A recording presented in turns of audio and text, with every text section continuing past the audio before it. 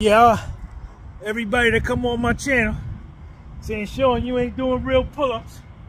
I tell you right now, I do jail style pull-ups. I don't do regular full length of motion push-ups. You come here, chin to the bar. That's as far as you gotta go.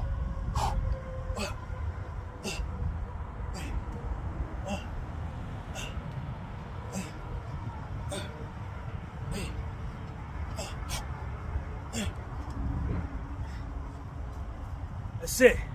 That's as far as I go right there. Chin to the bar. That's it. You ain't got to go all the way up, all the way down. Long as you get the results. If your body look good, then you're doing something right. If your body don't look good and you doing full range of motion, that shit ain't working for you. Try something else. But when you look good like this, at 54, fit over 50, what can I tell you? Peace.